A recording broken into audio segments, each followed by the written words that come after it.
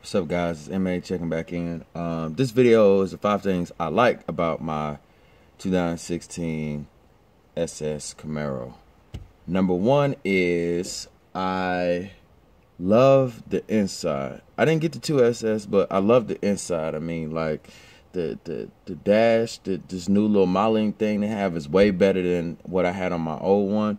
Uh, the the everything digital in the uh, gauge, except, except for the two, uh, the RPM cluster and the uh, mile per hour cluster.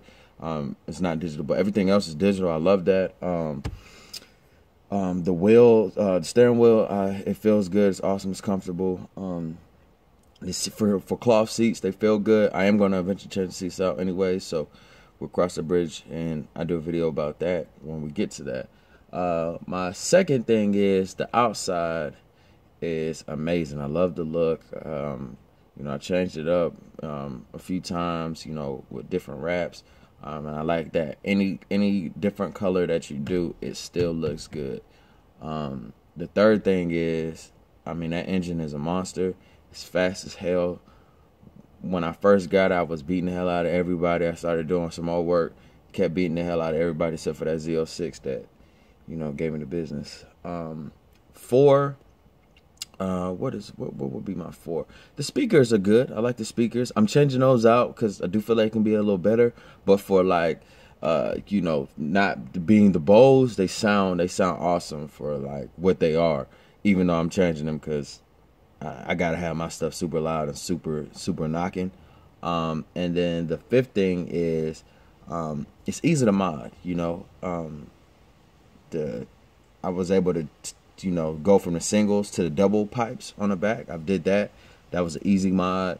Um, you know, getting you know the exhaust system done and all that. That was easy mods. I mean, headers are coming soon.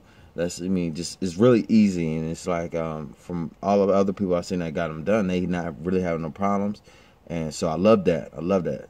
So those are my five things: um, the inside, the outside, uh, the engine um, Easy Mod, and then I forgot my damn fifth one. Oh, the speakers. Um, those are my five things.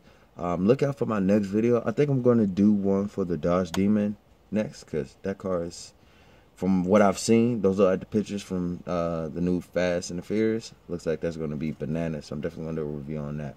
So look out for that. Um, please like, comment, subscribe.